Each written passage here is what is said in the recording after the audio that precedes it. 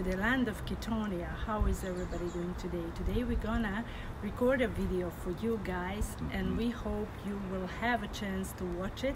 That's why we will publish it on uh, YouTube. Definitely. We want to talk about winter time, autumn time. Well, as you can see, Apollonas is actually dressed summerish. Me, I'm quite cold today, even though it's a sunny day. Uh, Yeah, it's really hot at the moment, so how to prevent cold, how to prevent flu, or if it even happens during the winter, you are a ketonian, so there's very little chance you will be extremely sick if you are fat adapted and if you are on keto for at least a year. Clean keto, of course, mhm. keto as always, yeah. But when it's sunny like this, even if it's winter time, wherever you live, the first thing you have to do is go out and spend wonderful time just walking, just stay under the beautiful sun rays wherever you live. Probably there will be at least one sunny day in the month, and especially now in October, there are many uh, sunny days. So, at least here in the Mediterranean zone. So I think that would be number one advice when it comes to staying uh, away from um the old Well, habits yeah, of staying too we much know inside. uh, during the winter we, uh, we lack of vitamin D, especially because we don't have a lot of sun, and of course because we're not well hydrated.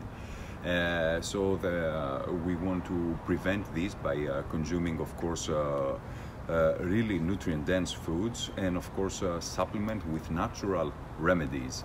So natural supplements. When we say supplements, you need to understand that food can be your medicine and food can be your Mm-hmm. supplement, natural. When we talk about natural uh, supplements, Mm-hmm. nothing can help you if you really catch cold or if you really uh, are feeling there's a flu season around you, like a nice warm uh, cup of rose hip tea. This is something that we keep uh, promoting and keep talking about. Okay, so uh, I added a little bit Earl Grey to make it uh, even taste uh, exotic, I Exotic, would yeah. say. But uh, originally, I made this tea with these wonderful rose hip Mm-hmm. uh, fruits, which I sourced in the forest. As you can see, I found even And this is how they look actually fresh. before they are dried. Mm-hmm. Yes. We pick them in the forest because uh, we like to take a walk in the forest. We live in the area where, okay, bravo, you can see here. So I'm drying them.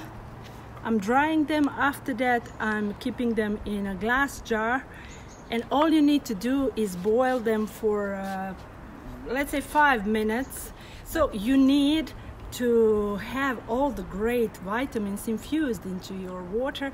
So you will uh, boil it for five minutes, let it cool down a little bit, and then enjoy it. You don't actually need any sweetener, but you can add natural stevia if you leaves. That would be totally natural. Uh, but also you can combine it with some other teas. For example, you like to combine it with sage. Sage, yeah, usually sage. sage? I love sage. It has a lot of uh, anti-inflammatory, antibacterial Properties. properties, and uh, It's a natural antibacterial uh, remedy. especially actually. if you have uh, gastrointestinal problems. Uh, combination of uh, sage and thyme, I think, is the best uh, because uh, actually they provide relief. Uh, uh, if you have gastroenteritis or uh, generally some uh, problems with your guts and stomach, and I think uh, this is a, a natural again remedy for uh, without to have to consume uh, drugs and medicine generally. uh, sage also is a great remedy if you have sore throat. You can just uh, make a well infused sage tea and wash your mouth and wash your throat every two to three hours. And the pain will reduce drastically. You really have to give it a try before you go to the pharmaceutical products.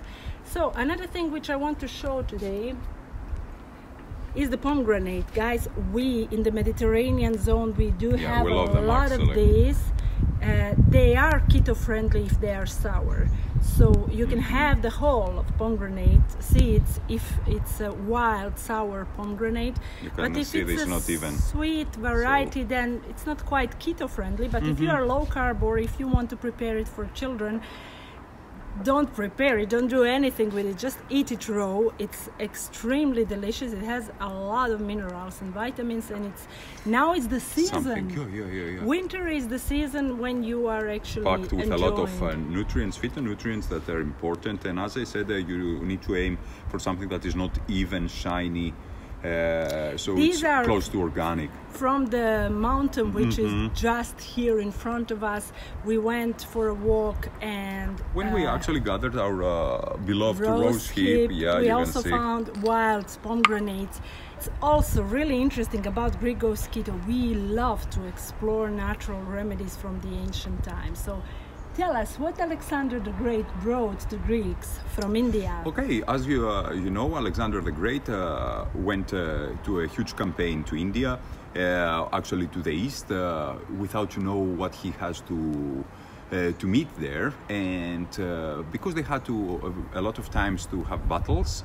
Uh, of course, horses and Soldiers soldiers got injured, injured. but uh, and got sick many times because they were changing climate. Environment, uh, they were generally, also yeah. changing uh, altitude. Sometimes they were in the mountains, sometimes they were in a, uh, almost in the seaside. So it's a lower altitude. It's different climate. So uh, it was really important to to see how these animals were behaving when they were injured, and they realized that, uh, especially horses, uh, were uh, starting consuming uh, a plant, uh, not only the seeds but even the leaves. And uh, maybe in a couple of Berries. days, the berries, yeah, maybe in a couple of days, one two days, uh, they were starting shining and coming back to their shape. Full strength. Mhm, and they were feeling uh, really strong and they recovered. And they say why we are not consuming uh, this plant too because it's not obviously poisonous. And of course, this uh, plant is not uh, nothing else uh, but sea buckthorn. Sea buckthorn or hippophyes. We have been talking Mm-hmm. about this on numerous occasions. You can see it here as a 100% concentrated juice. I don't know if you can see the uh, actual fruit, how it looks. It doesn't grow everywhere in the world, but thanks to today's uh, Mm-hmm. technology, uh, they're drying it and then they're selling it in a dry form. You can take this 100% extract juice. You can also take sea buckthorn oil. Sea buckthorn oil you can take orally and you can apply it to your skin. If you go to Greek Goes Keto and if you search for sea buckthorn, you will find three great articles about it. One of them is covering how to use it in a form of oil on your skin and the other two are covering the juice and the berries. So uh, make sure you visit Greek Goes Keto. Nothing contains more vitamin C than uh, sea buckthorn. Buckthorn. So uh, if you really want to supplement yourself during the winter with vitamin C, then definitely rose hip and sea buckthorn. Combine them, have them every day after your or during your keto meal. Don't have them during the fasting period because they will break the fast. Of course, uh, rose hip uh, is not uh, good to consume during the fasting period because it's a fruit. It's a fruit tea, so you can have it after you uh, had your first meal. During the fasting period, ideally, you will have just herbal tea. Uh, Polonas loves sage, thyme, peppermint. Uh, chamomile and those All these Mediterranean, I think. Mediterranean uh, herbs, Herbs, yeah, they're amazing. So you can even have lavender. Mm-hmm. It's really calming. And enjoy herbal teas in the period of uh, fast. And then once you break your fast with a great keto Mediterranean meal, have yourself a nice cup of rose hip tea. Enjoy it And because it course, tastes mhm, awesome. bec- because it's win- coming winter, uh, especially here in the northern hemisphere, I would suggest to have always bone broth to break your fast. Mm. It's something amazing and that prepares all your digestive system to receive food.